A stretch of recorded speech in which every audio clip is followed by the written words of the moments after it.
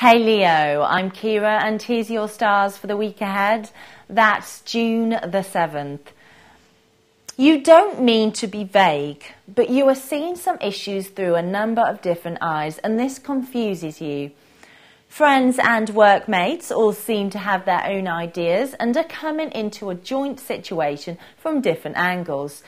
You are sensitive to the emotions and feelings of those around you and you are able to appreciate their views too. This makes it difficult for you to make firm decisions. You'd rather just sit on the fence.